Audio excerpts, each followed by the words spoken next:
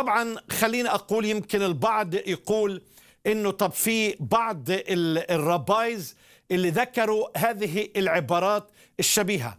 نعم ذكرت ولكن ذكرت بشكل سلبي. اسمح لي أن أقتبس بعض الاقتباسات. هليل اللي كان معروف عنه في مدرسة هليل المتسامح نوعا ما قال هذه العبارة. ما تكرهه لنفسك لا تفعله بالآخرين.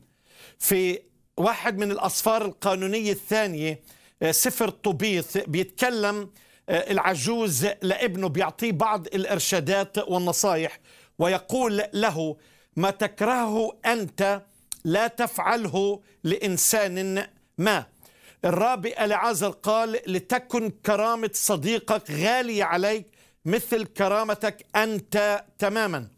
في مزمور 15 آية 3 مكتوب من ينزل في مسكن الرب؟ إنه لا يصنع شرا بصاحبه ولا يحمل تعييرا على قريبه. طبعا كونفوشيوس طبعا المعلم العظيم اتكلم عن مبدأ التبادل وأقتبس بهذا المبدأ قال ما لا تريده لنفسك لا تصنعه بالآخرين. وأيضا أحبائي الرومان واليونان كانوا بيعرفوا عن هذه العبارة وكان يقول هذا التعبير لا تفعل بالآخرين ما لا تريده أن يفعلوه بك.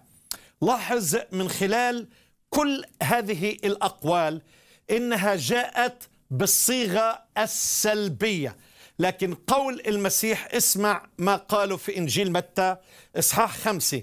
فكل ما تريدوا فكل ما تريدون أن يفعل الناس بكم افعلوا هكذا أنتم أيضا بهم لأن هذا هو الناموس والأنبياء. أحبائي قانون المسيح أو شريعة المسيح هي الشريعة الإيجابية. طبعا مثل ما ذكرت هذه الاقتباسات وفي اقتباسات كثيرة من بوذا ومن الهندوس اللي هي شبيهة دايما بتيجي بصيغة السلبي. لا تفعل ما لا تريد أن يفعل بك. الطريقة السلبية يعتبر أمر عادي تعبير بيتطلبه العرف والنظام في مجتمعاتنا وهذا الشيء عادي في المجتمعات الراقية.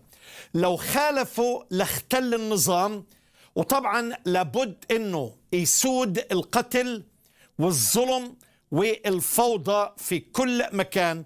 وهذا الأمر ميسور يعني من السهل لا تفعل فأنا لا أريد أن أفعل لا أريد أن اوذي أي إنسان. لكن ليس امرا دينيا بل اخلاقيا. حتى اللي ما عنده عقيدة بيكون مواطن نافع كثير من الأحيان. لكن الصورة الإيجابية حب المسيح في خدمة الغير. هون بيعلمنا أنه نطلع نخرج عن ذواتنا. وعندما نخرج عن ذواتنا أو بالأحرى عندما نموت عن ذواتنا نمتلئ بحب المسيح نمتلئ في خدمة المسيح خدمة الأعمال الصالحة من الرفق والحنان والأحشاء الداخلية اللي طبعا بنوجهها لهذا المجتمع.